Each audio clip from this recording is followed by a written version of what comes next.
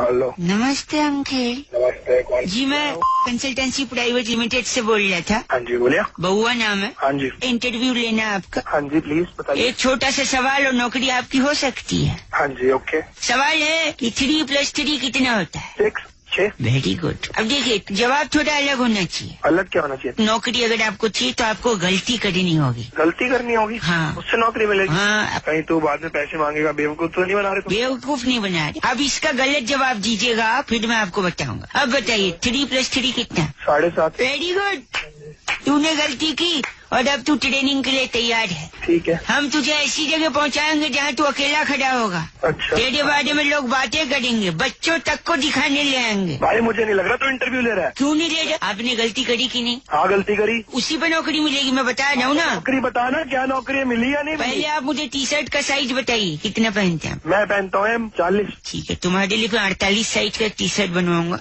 मैं जब चालीस पहनता हूँ तो अड़तालीस अड़तालीस बताऊँगा मैं उसमें भूसा भरने के लिए काम है एक सेकंड। आपकी मूछ है या नहीं है? नहीं है। ओ मूंछ भी बनवानी पड़ेगी। मूछ क्यों बनवानी पड़ेगी? एक सेकंड मैं बनवा दूँगा नकली एक मिनट। आपके सर है? आई मीन कितने सर है? मेरा एक ही सर है भाई एक ही सर होता है सब। फिर तो आपको कंप्यूटर सीखना होगा। क्यों? एक मिनट। पाँच सर इधर कॉपी करके पेस्ट करिए पाँच उधर। टोटल हो गए दस सर दस सर भाई बना के रहा तू मुझे। दस सर किसके थे? रावण के। बहुत बढ़िया। तूने जवाब में गलती भी करी थी। हाँ करी थी। इंसान गलतियों का पुतला होता है। और रावण भी। तेरे बाप का पुतला चला।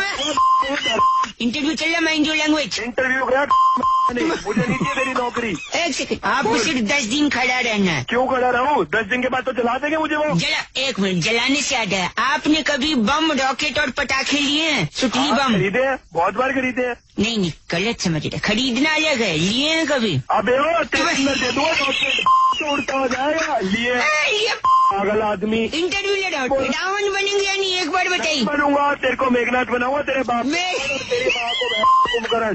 तीनों को फूक दूँगा साथ में। मम्मी को कुंभकर्ण क्यों बनाएँगे? एक सेकंड मर्ज़ी। मम्मी पापा के साथ ऐसा करेंगे तो दादाजी को बहुत बुरा लगेगा। हाँ, तो तेरे दादा को सूर्पनखा बनाऊँगा इतनी अच्छी जॉब अपॉर्चुनिटी